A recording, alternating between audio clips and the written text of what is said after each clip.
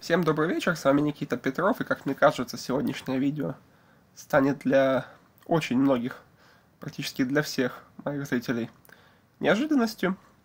А в нем я покажу одну из своих старых партий, которая была сыграна уже более 6 лет назад. А, где-то 3 или 4 года назад Олег Соломаха уже делал э, видеообзор этой партии, но у меня есть серьезное подозрение, что ну, практически никто из моих зрителей этот самый видеоразбор Олега не смотрел, поэтому думаю, что для большинства э, э, эта партия будет совершенно новой, скажем так.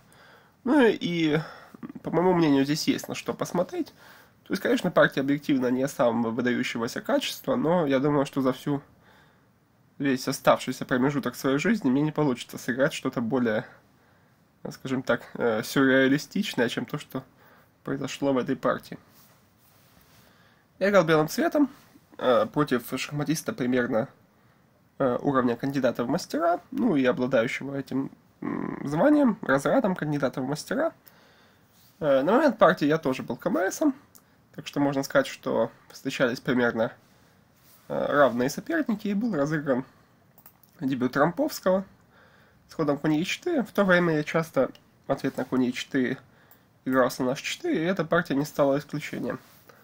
А, также нужно отметить, что партия была легкая с, ну, с нулевым турнирным значением, потому что она была сыграна не в турнире, это была тренировочная партия. А, тем не менее, контроль времени был достаточно медленный, можно сказать, классический, поэтому у соперников были шансы избежать очень грубых зевков. Ход слон h4 на самом деле не точность. Большинство Э, любители дебюта Трамповского все-таки играют слон f4, и на то есть свои основания. После слона h4 мой соперник отреагировал здесь очень четко, он сыграл g5, это сильнейшее продолжение.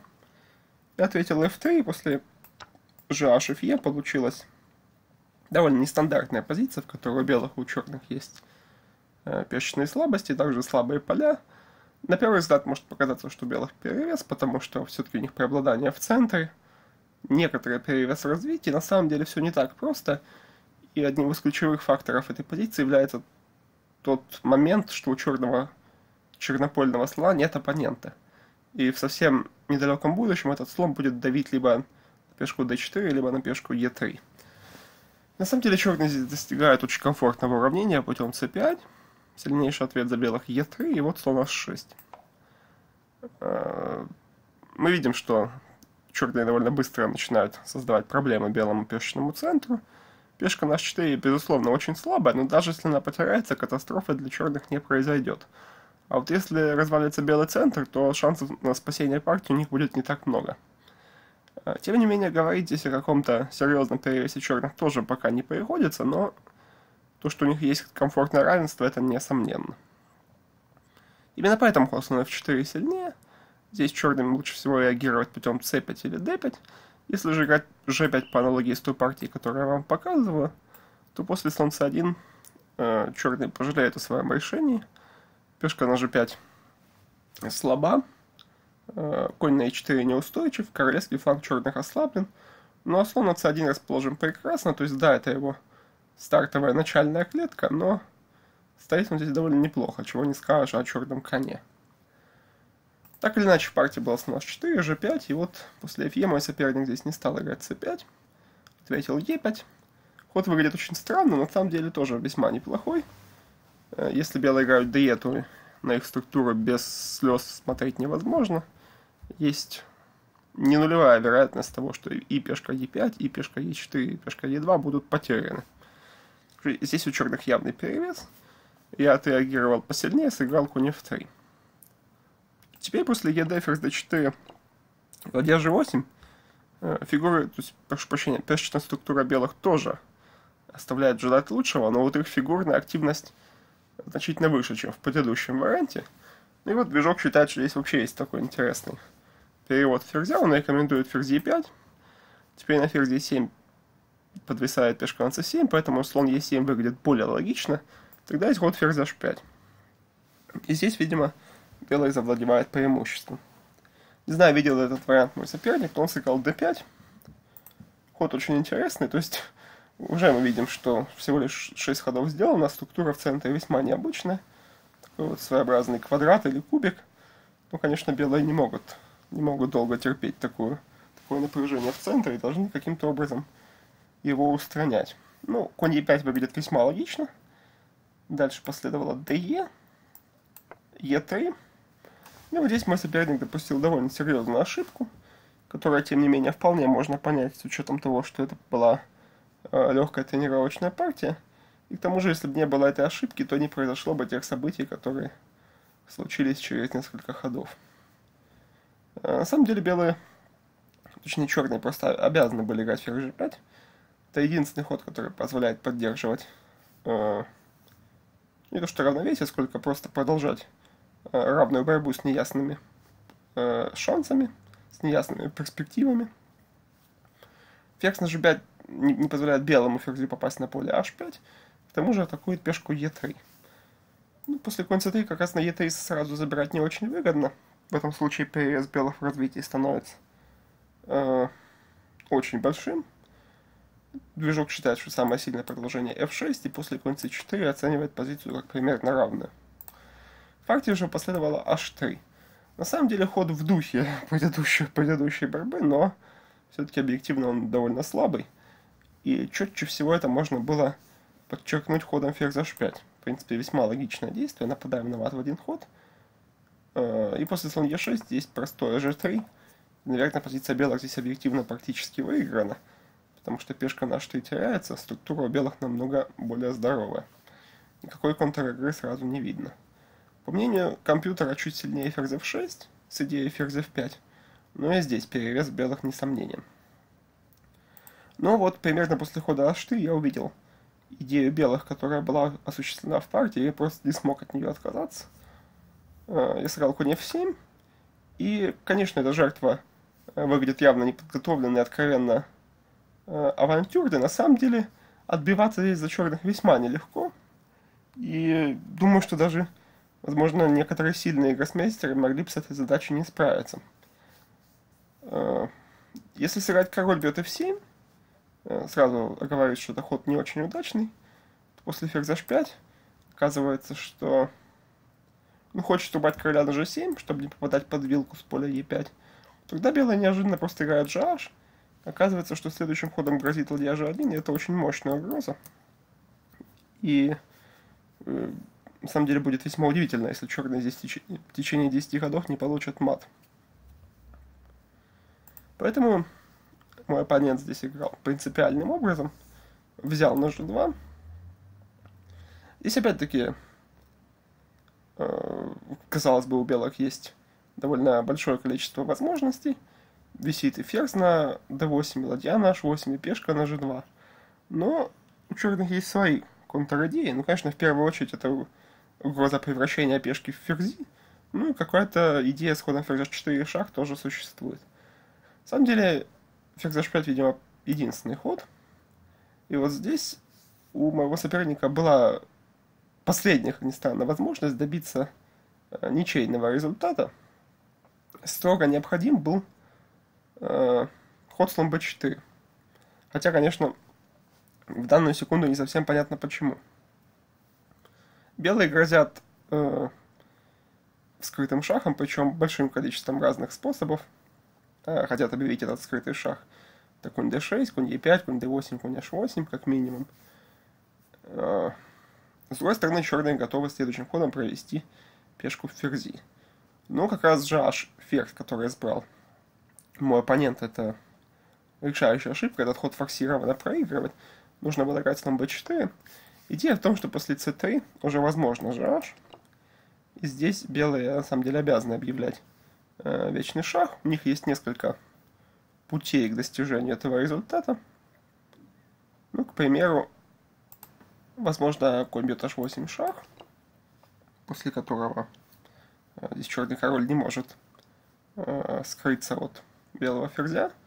Ну, король f8 отпадает по причине мата, после короля e7 э, белые достигают ничьей, к примеру, путем ферзь g5, на король d7 ферзь f5, король c6 ферзь b5, король d6, и вот ферзь e5, но мы видим, что позиция повторяется. Большего при слоне на b4 э, белые добиться не могут. А вот э, после хода h, который был исполнен в партии, как раз есть ровно один способ добиться, добиться победы. Сейчас вы увидите, в чем разница между этими двумя ходами. Последовало GH, конь e5. Очень важно сыграть именно конь e5 шах, потому что конь d8, король d8 ничего не дает. И, как ни странно, конь h8 тоже. То есть, да, белые забирают ладью, но вот после короля e7 им катастрофически будет не хватать именно коня в атаке. Поэтому здесь э, выиграть белым не грозит. Необходимо сыграть конь e5 шах.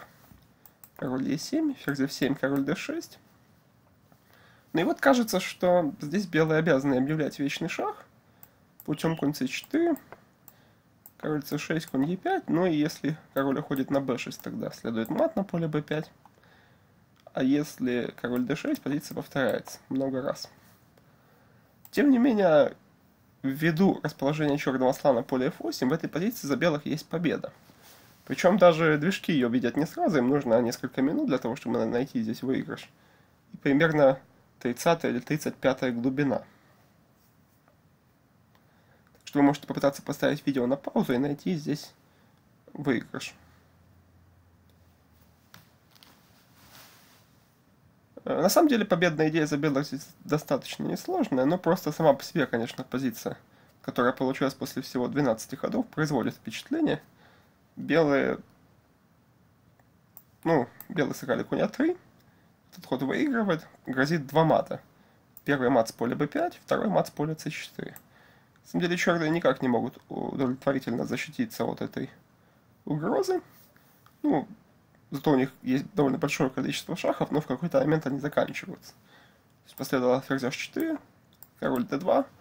В этот момент компьютер уже прозревает, начинает писать огромную оценку в пользу белых. И как сильнейшее продолжение за черных рекомендует ферзь в 2 шах. То есть белым приходится забирать ферзя. Довольно смешно, что предыдущим ходом черные отдали целого ферзя, но все равно материальный баланс в данную секунду в их пользу. Спасти партию это не поможет, потому что грозит ферзь f6 с выигрышем ладьи, и тогда материала уже будет поровну, ну и ферзь наш один застревает. К тому же черный король по-прежнему в беде. Эта позиция абсолютно выиграна, и, конечно, мой соперник сыграл ферзь h2 шах. Выглядит более логично король c3. И еще более смешной момент. Опять-таки, движок в этот момент понимает, что э, черным угрожает, ну, практически, практически неизбежный мат. Рекомендует сыграть ферзь d2, после король d2 сыграть ферзь f2. То есть отдать двух ферзей подряд. Но, конечно, в этом случае материальное соотношение для черных будет неудовлетворительное. Поэтому было сыграно ферзь d5, но вот в этом случае белые уже форсированно матуют. Собственно, так и случилось в партии. Обратите внимание, что если вместо конь c4 сыграть de, судя по всему, мата не получается, по той причине, что черный король просто уходит на c6. То есть, если сыграть король e5, то следует мат с поля c4. Если сыграть король c5, тоже получается мат в пару ходов. Но вот при короле на c6 мата не видно. Поэтому необходимо сыграть конь c4 шах. После короля c6 белые забирают ферзя с темпом все равно у них не хватает довольно большого количества материала, но здесь это уже не важно. А, если король бегает на b6, то сразу получается мат с поля b5. Похоже, мы сегодня уже видели. Поэтому в партии король вернулся обратно, и после конь c4 король c6, d5. А, здесь мой соперник не, заходи, не захотел заходить в кооперативный мат, сыграл король b5, потому что после король c5 получается вот такая вот довольно живописная картина. Ну и в партии тоже получилось неплохо. После король b5 последовало а4, король а6. Э, если же э, король идет на c5, получается очередной мат пешками, но уже в центре доски. После короля 6 белый здесь на самом деле не единственным образом матует, но я, конечно, уже понимал, что такую партию надо заканчивать максимально эффектно, сыграл конь b6 шах. Э, Теперь после король b6, а5, король c5, ферзь c7. Э, если король d5 сразу на c4 мат, ну, после конь c6 получается то же самое. Очередная живописная картинка с матом в центре доски. Так в партии сыграно не было, последовала король a5. Ну и вот ферзь f8. Ключевая идея. Мне, конечно, было чрезвычайно приятно делать такой ход. Чем-то напоминает э, ну, всемирно известные партии, которые были сыграны в 19 веке. Конечно, в более простой обработке, но все равно приятно, приятно заканчивать партию жертвы ферзя. Но если его не брать, то он возвращается на поле c5 или на поле b4, черным просто мат. Э, ни одного шаха, ни одного нормального шаха белому королю, по крайней мере, нет. То есть, конечно, можно сыграть ферзь e1, но это просто отсрочит э, поражение еще ровно на один ход. Поэтому просто последовал ладья f8, и после b4 белые объявили вот такой вот э, довольно запоминающийся мат. К тому же произошло это всего лишь на 24-м ходу. Надеюсь, что вам всем понравилась партия. Конечно, как обучающий материал или как что-то серьезное воспринимать довольно тяжело, но, по крайней мере, хочется надеяться, что эстетическое впечатление она произвела. Всем спасибо за внимание. С вами был Никита Петров.